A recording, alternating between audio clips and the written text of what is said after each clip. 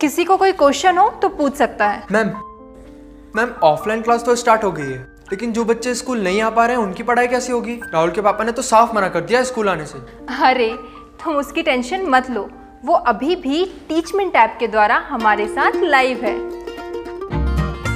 शहर शहर गाँव गाँव अब टीचर्स ले रहे हाइब्रिड क्लास टीचमेंट के यूनिक फीचर्स के साथ। 2020 से पहले बीएससी नर्सिंग में एडमिशन लेने के लिए अलग अलग कॉलेज के अलग अलग एंट्रेंस एग्ज़ाम होते थे। कुछ कॉलेज ट्वेल्थ के परसेंटेज के बेसिस पे एडमिशन देते थे। लेकिन लेकिन 2020 के बाद में एक रूल निकला, जिसके अकॉर्डिंग बताया गया कि आपको नीट के परसेंटेज के बेसिस पर भी एडमिशन मिल सकता है। उसके लिए बहुत सारी यूनिवर्सिटियों ने सहमति दी।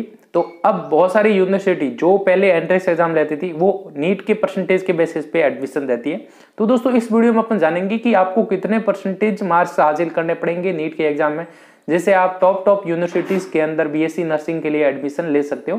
Hey guys this is Lakhan और इस वीडियो में पूरी की पूरी अपडेट इससे रिलेटेड आपको मिलेगी। सो वीडियो को फ़र्स्ट से लास्ट तक बिना स्किप किए पूरा पूरा देखना, जिससे ये सारी सारी अपडेट आपको अच्छे से समझ में आ जाए और ये वीडियो आपके लिए बहुत ज़्यादा हेल्पफुल हो। दोस्तों, इससे पहले आपको पूरी पूरी इंफॉर्मेशन बता दूँ। बहुत सारे बच्चे अभी भी मन में डाउट लिए बैठे हैं कि भैया, हमने नीट का एग्ज़ाम नहीं दिया तो क्या हमें बीएससी नर्सिंग के लिए एडमिशन नहीं मिलेगा। या फिर बहुत सारे बच्चे सोच रहे हैं कि भाई नीट के अंदर हमारे नंबर कम आए तो क्या हमें बीएससी नर्सिंग के एडमिशन नहीं मिलेगा?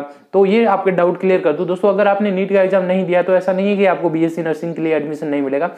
क्योंकि बहुत सारे ऐसे कॉलेज है या यूनिवर्सिटी है, जो क्या है कि पहले भी कोई एंट्रेंस एग्ज़ाम नहीं लेती थी, वो ट्वेल्थ के अंदर आपकी परसेंटेज है, उसके अकॉर्डिंग ही आपको एडमिशन देती थी। तो ऐसे में, ऐसे बहुत से कॉलेज अभी भी है जो ट्वेल्थ के परसेंटेज के बेसिस पे आपको एडमिशन देती है।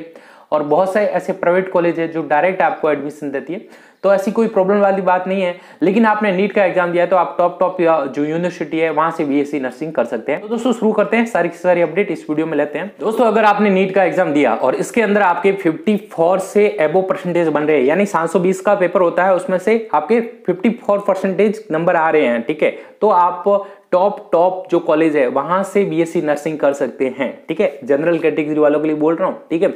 ओबीसी के लिए ओबीसी के लिए आपके 48 से अबो परसेंटेज नंबर आ रहे हैं तो आप टॉप टॉप कॉलेज ये जो परसेंटेज बता रहा हूँ, ये टॉप कॉलेज के अंदर एडमिशन लेने के लिए है, ठीक है? उसके बाद में बात करें एस सी कैटेगरी के लिए तो आपके 40 परसेंटेज अगर आपने नंबर हासिल कर लिए, किसके अंदर? नीट के लिए 40 परसेंट नंबर आपने हासिल कर लिए तो आपको टॉप यूनिवर्सिटी के अंदर एडमिशन करने का मौका मिल जाएगा।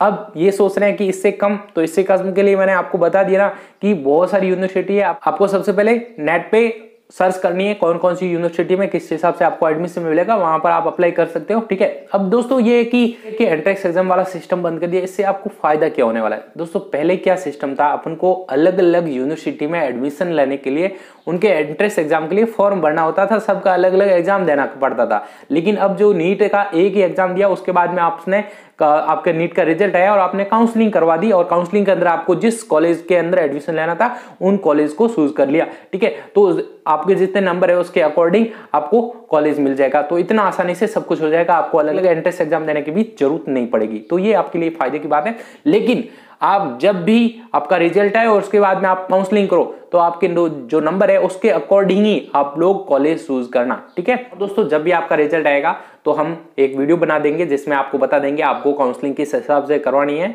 जिससे आप लोगों को कॉलेज मिल सके तो उसके लिए आप हमारे चैनल को सब्सक्राइब करके पास के बेल आइकन को दबा दें, जिससे मैं जो भी वीडियो पोस्ट करूँ तो उसका नोटिफिकेशन आपके पास में पहुँच जाए और आप उस वीडियो को देख के आपकी काफ़ी कुछ हेल्प हो सके। उम्मीद करता हूँ दोस्तों, सारी सारी अपडेट आपको मिल गई। फिर भी कोई डाउट रह गया डिस्क्रिप्शन इंस्टाग्राम चैनल का लिंक है।